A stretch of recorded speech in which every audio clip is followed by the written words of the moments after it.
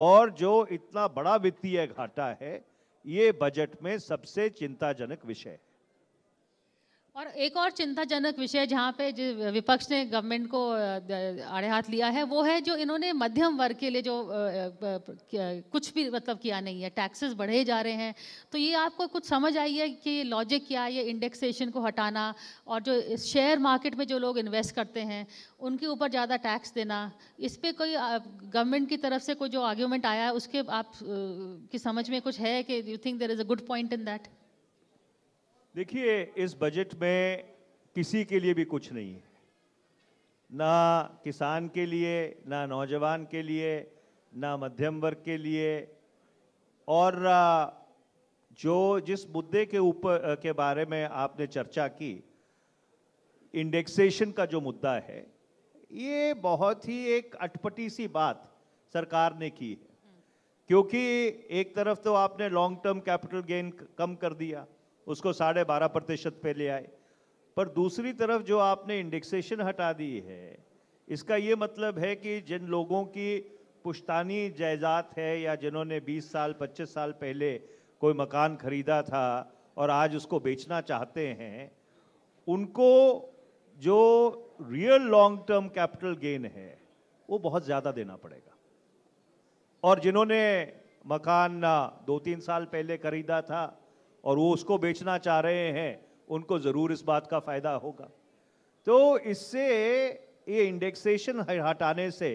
अगर किसी का फ़ायदा होगा, उस स्पेक्यूलेटर्स का फ़ायदा होगा, जो रियल एस्टेट का व्यापार करते हैं, कि आज प्रॉपर्टी खरीदी, साल के बाद बेच दी, डेढ़ साल के बाद बेच दी, मुनाफा कमा लिया, उसके ऊपर कैपिटल गेन बहुत कम हो जाता है। पर जो वास्तव में वास्तव में होम ओनर्स हैं जिनको अपनी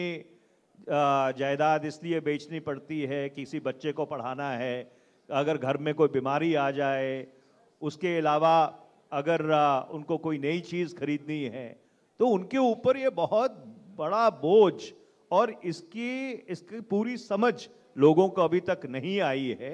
आने आ, आ, आगे आने जाने वाले आने वाले दिनों में इसका एक बहुत नकारात्मक परिणाम मध्यम वर्ग पे पड़ने वाला है और इसका अगर फ़ायदा हुआ है या होगा तो सिर्फ़ जो रियल एस्टेट में स्पेकुलेशन करते हैं उनको इस चीज़ का फ़ायदा होगा। मतलब ये जो ब्लैक मनी और काला धन का भी जो कह रहे थे हम ख़त्म करेंगे ये बिल्कुल उसके कॉन्ट्रोडिक्ट करता है ये मूव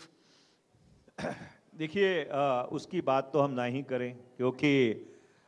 जब आ, दो वर्ष 2016 में नोटबंदी की गई थी तो उसमें ये कहा गया था कि इसका एक बड़ा उद्देश्य भारत को एक कैशलेस इकोनॉमी बनाना है। और अगर आप आरबीआई के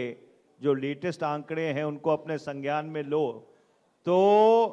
डिमोनेटाइजेशन जब हुई थी, वहाँ से कहीं ज़्यादा ऑलमोस्ट 33 लाख चौंतीस लाख करोड़ रुपया कैश में इन सर्कुलेशन है अर्थव्यवस्था में। तो इसलिए वो तो बड़ा भद्दा मज़ाक भारत के लोगों के साथ किया गया था। आ, कई सैकड़े लोग बैंकों की लाइनों में खड़े खड़े उन्होंने अपना दम तोड़ दिया। और इसलिए जहाँ तक आ, काले धन का सवाल है और आ, रियल इस्टेट स्पेकुलेशन का सवाल है आ, जैसे मैंने पहले कहा कि इसमें फ़ायदा सिर्फ़ रियल इस्टेट के स्पेकुलेटर्स का होगा। मनीष जी जो मैंडेट आया है, इसको हम किस तरह से इंटरप्रेट करें? एक तौर से कांग्रेस और विपक्ष नेता अपने आप को ऑल दो वो